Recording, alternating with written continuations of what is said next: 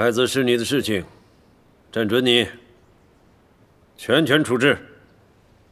陛下，陛下，臣真的可以全权处置。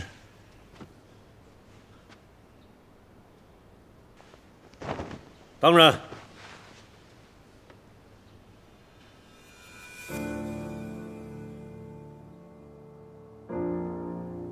诸位失国家俸禄，数代立身于此处，此刻不妨扪心自问：为何会容许这样的事情发生在自己辅政的当代？在劫难他人之前，先问问自己有否恪尽职守，再问问自己是否真正做到了上不愧于君父，下不愧于小民。此事昭告天下，是天家丑闻；流传万世，是万代笑柄。有损天子圣明，本宫和诸位同罪，谁也不要妄图脱掉干系。陛下，臣等惶恐。但是按照国法，真正有不赦之罪，该去宗正寺禁足反省。等候发落的人是你，齐王。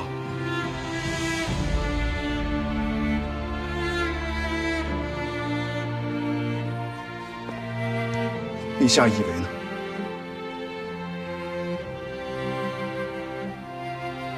朕说过，全权交给太子处置。殿帅，亲自送齐王去宗正寺。臣遵旨。恭贺卫，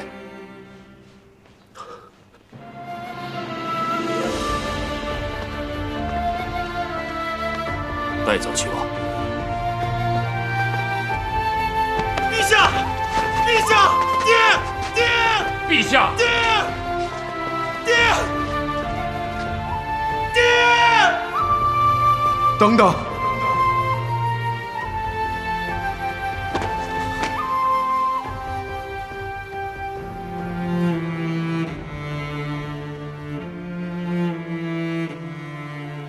只是，刚刚那个工人的供述未加以司法查证。昨夜陛下和本宫亲审了堕楼之人，他却声称没有人指使，是他自己一人所为。本宫反复推敲，觉得这件事情也许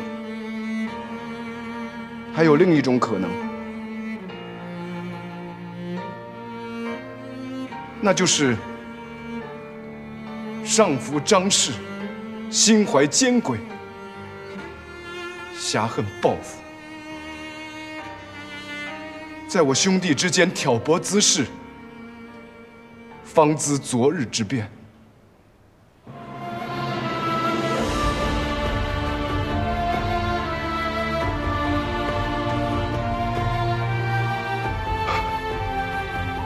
朱书令，你以为哪一个才是实情？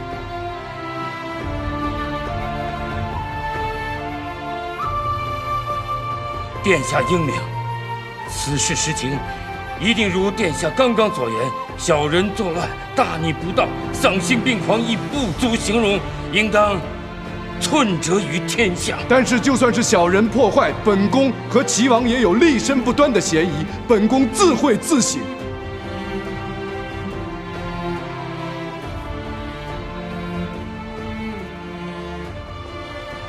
可也请齐王能够修身养性，谨言慎行，不要再给萧小有可乘之机。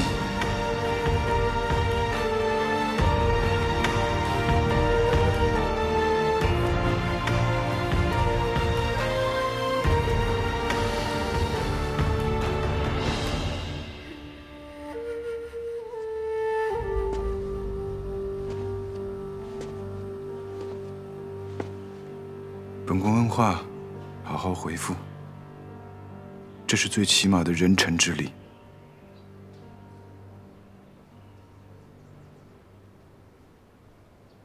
齐王，本宫问你，记住什么叫做人臣之礼了吗？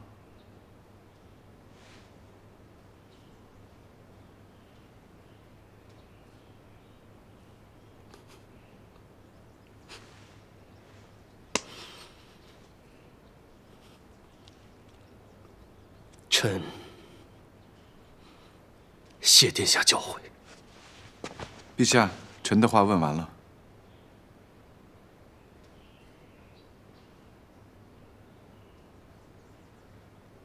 太子处理得当。陛下，齐王昏冠已过，久不知藩，这才给了小人可乘之机，险酿大祸呀！马上就要春闱了，开榜之后，礼部着手预备齐王之藩一事。陛下圣明。陛下圣明，陛下，陛下臣还有一事。既然罪人已经伏法，上服局的工人并不知情，陛下能否开恩？准了。谢陛下。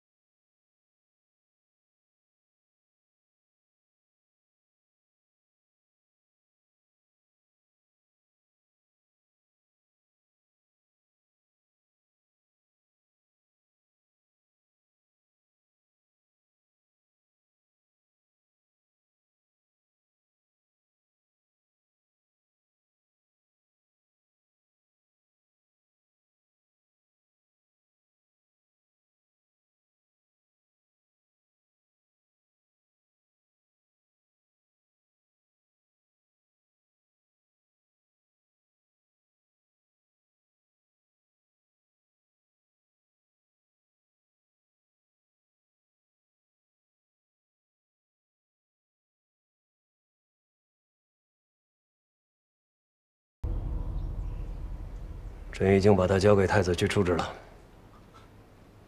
爹，太子一定会留着他的。这样对你什么？这回是太子放了你一马。出京之前，你最好放老实一点。朕跟你说这些都记住了。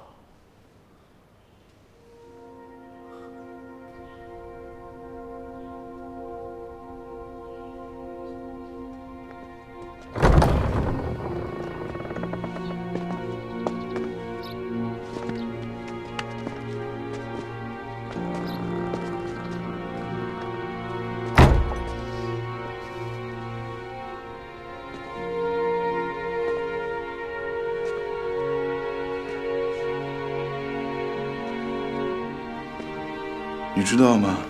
被你推下去的那个人，是你的亲生母亲。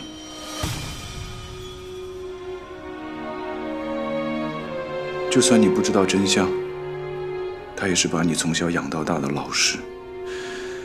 我实在是想不明白，在你下手的那一刻，你心里到底在想些什么？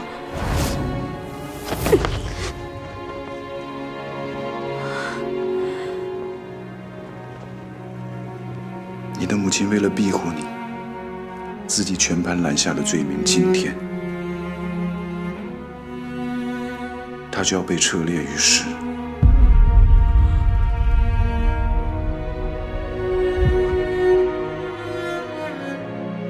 该被车裂的人应该是你。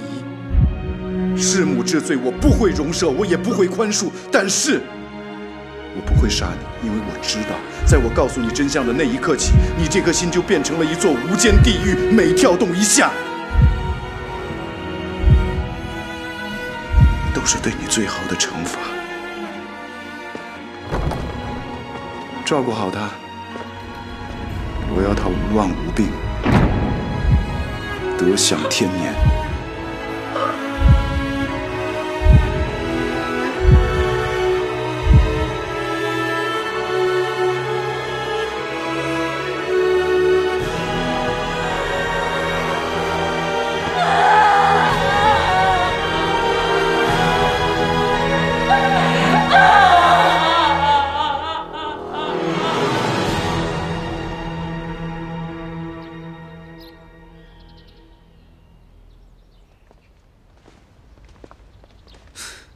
殿下是什么时候知道的？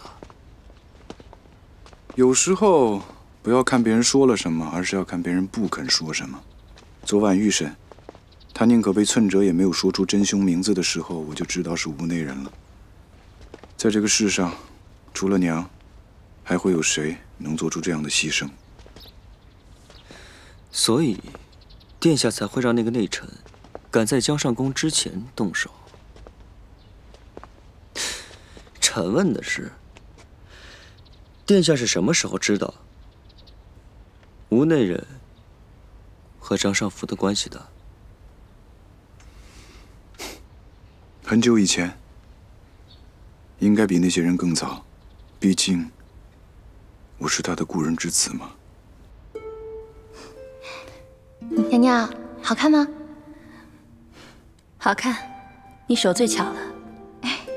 三郎，我好看吗？好看，来，自己来看看，好看吧？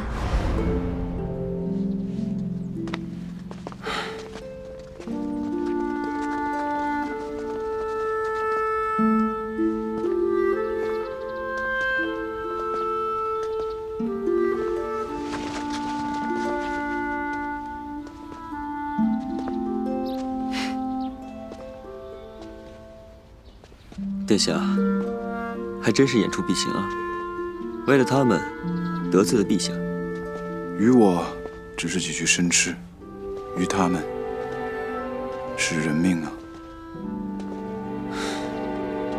哎，去哪儿？请罪。现在上赶着去讨骂？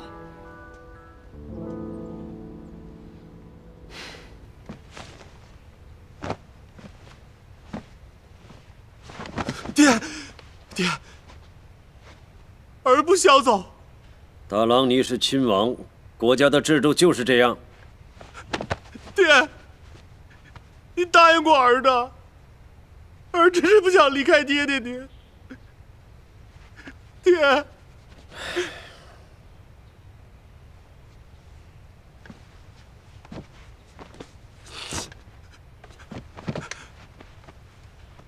爹，起来。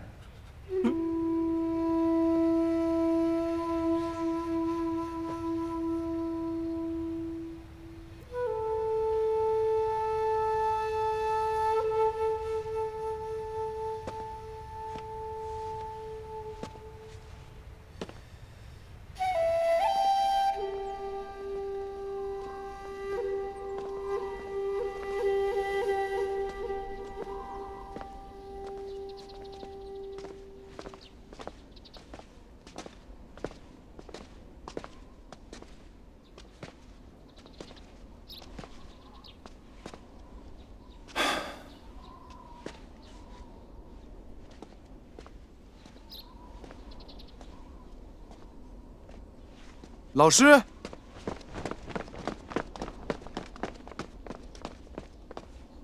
殿下去见过陛下了吗？老师，是我做错了吗？殿下没错，也有错。老师，一定是我做错了，不然陛下为什么会这么对待我？殿下为什么不事先跟陛下说呢？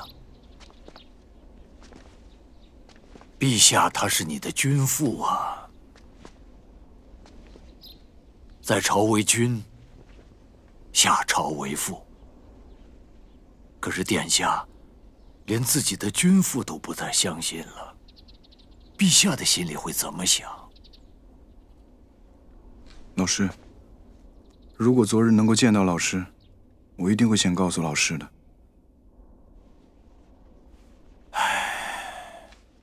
老师，我也还没有吃饭，师母做的蜜酥食还有吗？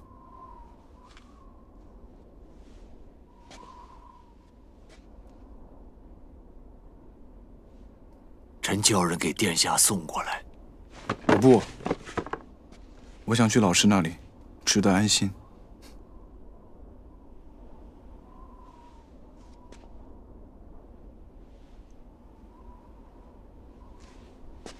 殿下，臣毕竟是外臣，如果殿下没有什么重要的事情，就不要再去臣的纸坊了。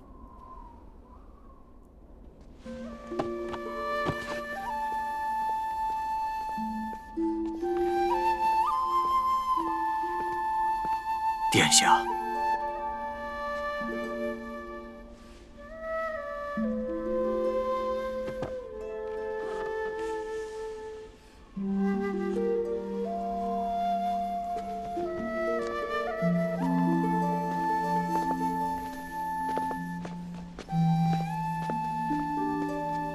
殿帅，罗尚书，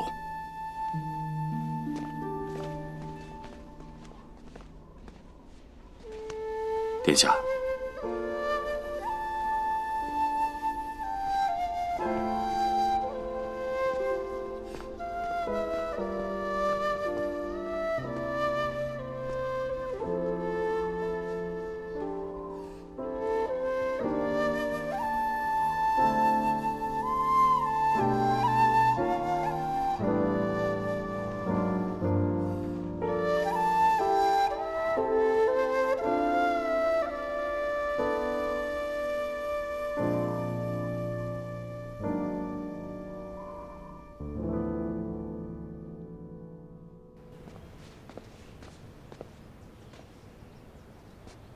这是什么东西？回陛下，殿帅说，这是在上府局仓库的房梁上找到的，好像没来得及烧。打开。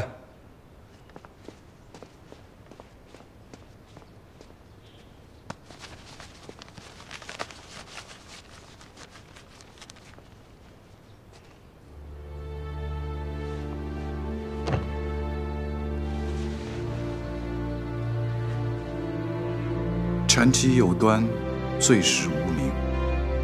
全君臣义，成父子亲。家国永安，天下太平。君子今日，百离成人。哎呀，有时候真是真不明白呀，朕的太子。到底是精明还是天真？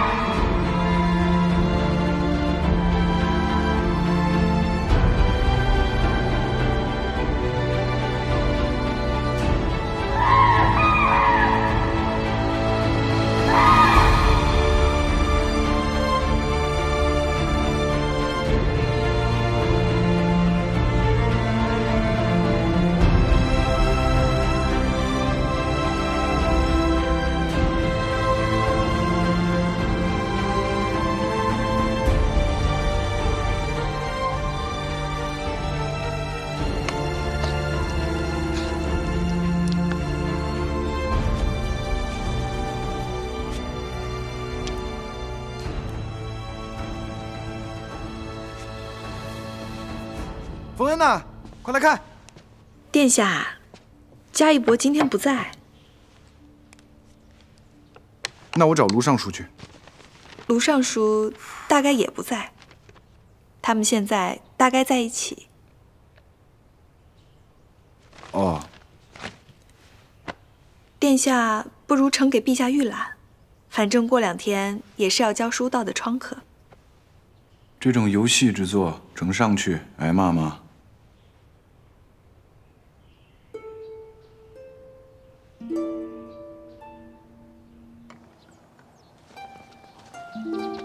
报座号姓名。弟子三十二号薛焕。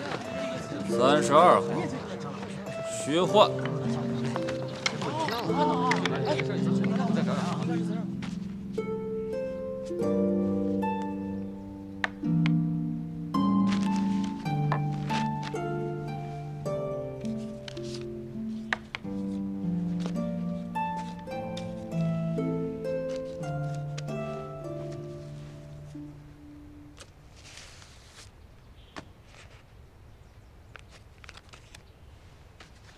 愧是卢尚书，连试卷都是一等的书道，只可惜不能让人看见。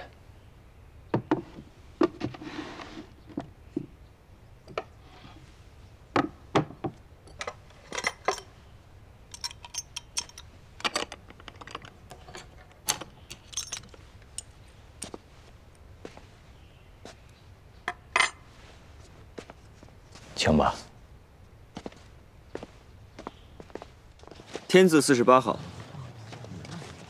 自己报姓名。顾逢恩。嘉义伯，您老今年怎么有空亲自下场？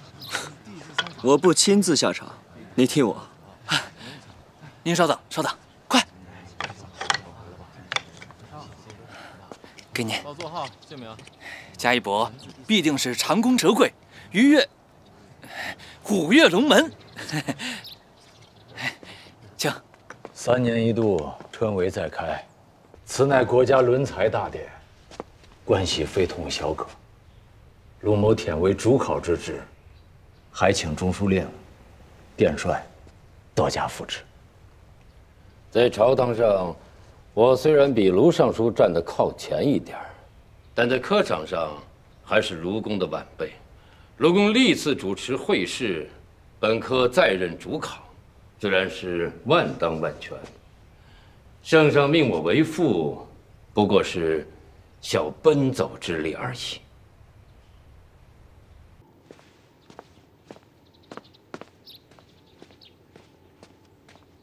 陛下，这边请。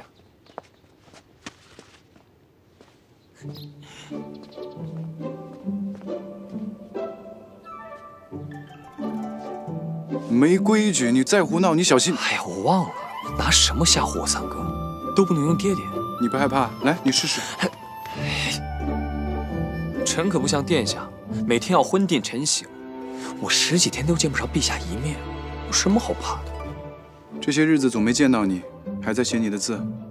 书道上面，臣可没有殿下的天分。我回头让人给你送两卷字帖过去。哎。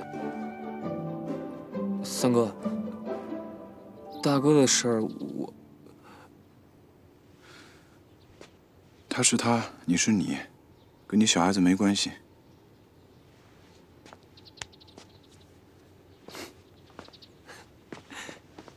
哎，三哥也是来吃鱼的吗？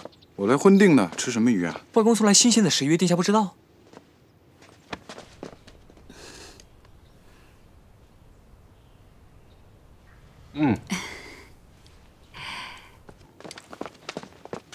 安平伯，那既然这样的话，我稍后再来。哎，殿下，我不喜欢吃鱼。你不喜欢吃鱼，我也不喜欢吃鱼。可来都来了，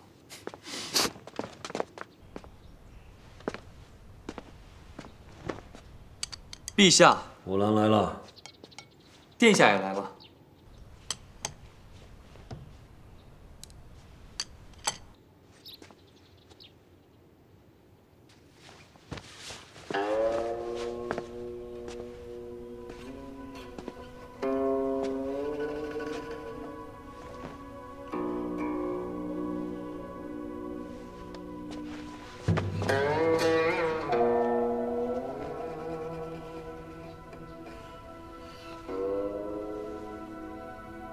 臣恭请陛下圣安。臣请问，圣公安何否？朕公安。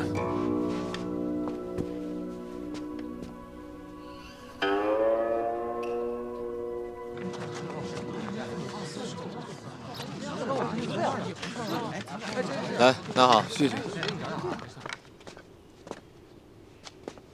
嗯怎么回事？啊，可能是天棚的油毡破损了。看天色要有雨雪，赶快修好。是。啊，别处去看看，有没有这样的漏洞。是，大人。久闻卢尚书视一切共事皆如门生，真的不假。三场会考，一共九天。白天作文，晚上休息，都要在这间小小的屋子里。春梅之后，大哥就要离京了，我不能喝酒，在这里以水代酒，为大哥践行。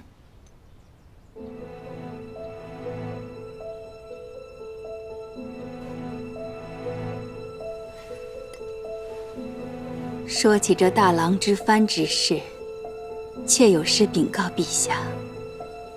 今日大郎媳妇进宫，说齐地王府打发人来，报王府年久失修，不堪居住。贵妃的意思是，殿下已经冠礼，接着马上要选妃成婚了。殿下也知道。大郎婚礼三年，迄今王妃未见喜讯。让那头王府先休着，这头等参加完殿下的婚礼，沾一沾祥瑞喜气再走，不是两全其美的事吗？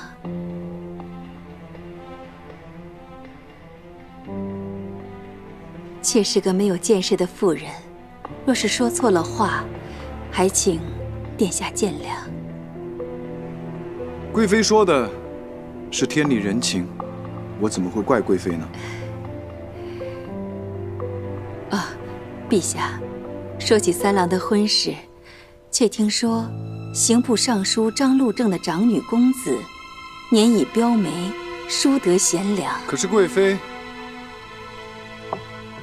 天理人情之上，还有国法、家法。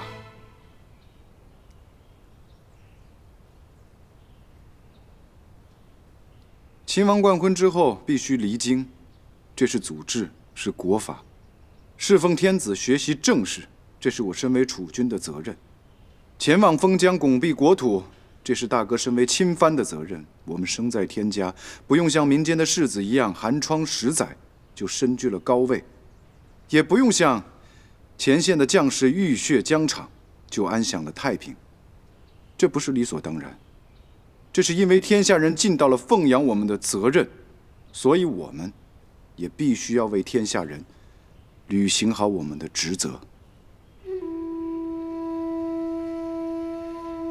至于太子妃的人选，这也是天家大事，还全凭陛下圣夺。贵妃的好意，我心领了。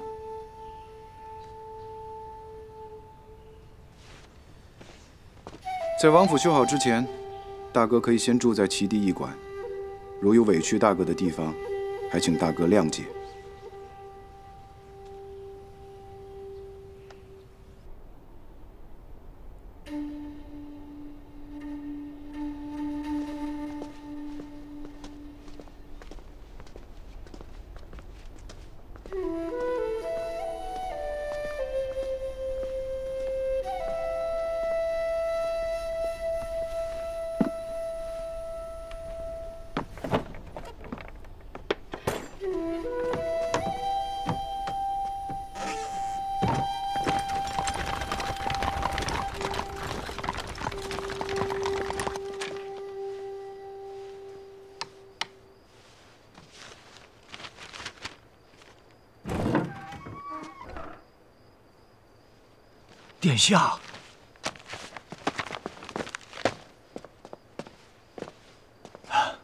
殿下怎么来了？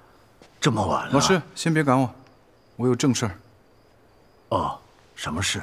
老师，这是我新创的书道，请老师过目。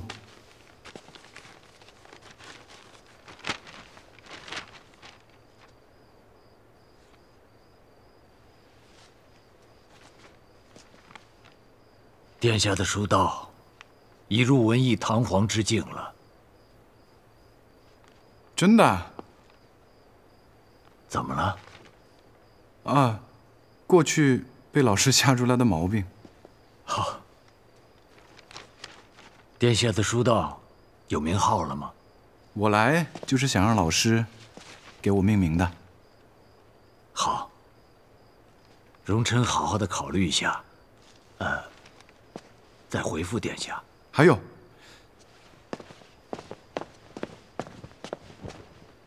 外头冷得很，我来呢是向老师要杯热茶喝。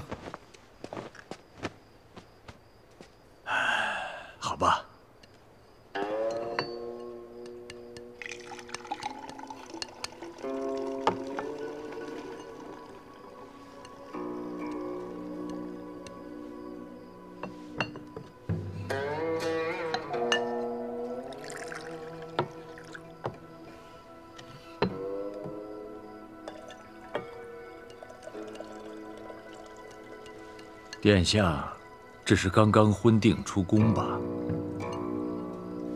是。陛下要让齐王走吗？也许吧。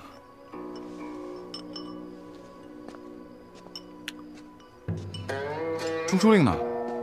怎么只有老师在？啊，他带人去复查号房去了。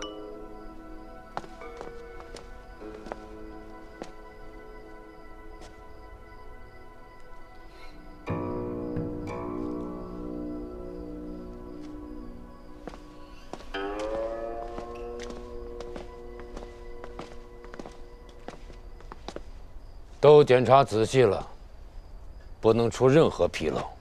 是。让老师为难了，陛下硬是要把他塞进来当这个副主考。嗨，其实都是冯恩的错，我就劝过他好几次，让他不要下场，他就是不听。一个伯爵，非要进什么国子监，还非要自己博什么功名。听说这一科。功勋子弟不少，所以陛下不放心老师一个人在场内，也不放心中书令一个人在场外，所以干脆就把他给拖下水。靠祖荫的呢叫绝路，靠自己的才叫功名。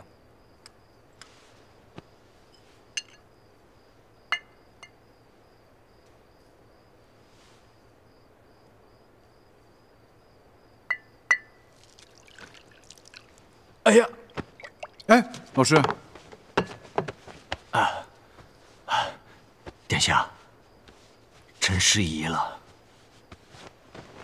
我来吧。啊，可能是老了。老师还未到一甲子，谈何一个老字？本来后天是老师的生辰，可是正好赶上开科，老师又要在这里锁九天了。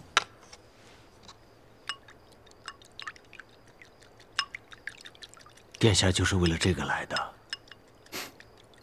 近来事情太多，不但没有给老师准备贺礼，还吃了老师的宵夜。老师想要什么，等到春闱之后，我亲自给老师补助。臣什么都不需要。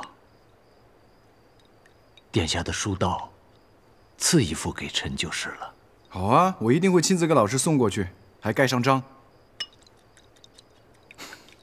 老师。我有字了，嗯。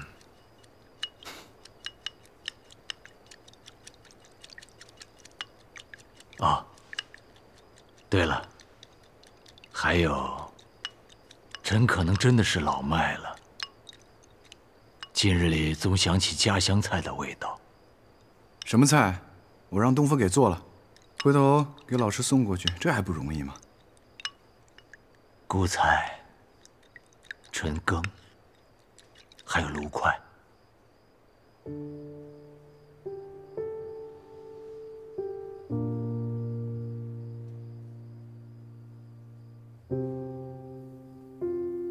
张继英见秋风起，于是想到了这三样家乡味道，之后便挂之而去。之后，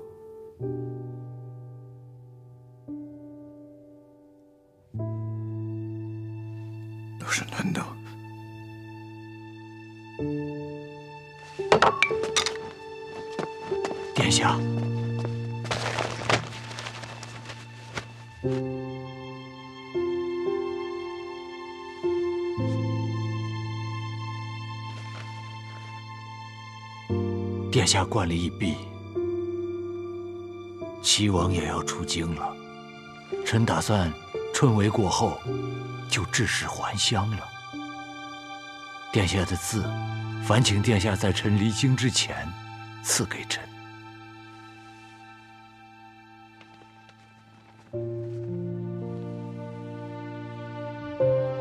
啊，殿下不必担心，臣已调川蜀路茶马御史陆英来京，还是继续任御史中丞，让他来负责殿下。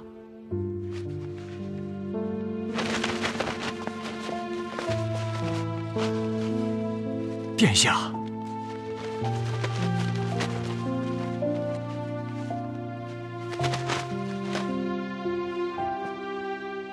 我不会让老师走的。殿下，陛下也不会让齐王走的。陛下问过我，老师也问过我，为什么上一次明明知道齐王的谋划，但是不提前报告陛下，还要惹出这么多是非来？我就是想知道陛下的心思。陛下维护齐王，不单单是因为偏爱他，更是要用他来节制我。武德侯回了常州，重掌重兵，陛下不放心又鞭长莫及，所以才会用我来节制武德侯。未来的日子，我只能更难过。老老师，不要走。殿下，就算是陛下让中书令和老师互相节制，老师还是放心不下吧？否则今晚为什么会亲自守在这儿？啊！臣已命人严加搜查，谨防务必加逮。我说的不是这个，我会让冯恩称病，今年就不考了。殿下不能这么做。他还年轻，三年之后他还有机会。殿下不懂，为什么？眼看这天雨雪就要来了，他们读了十几年的书，最后能得到的，就是在这小小的号房里面还漏着风，待上这么几天。因为殿下毕竟不是读书人。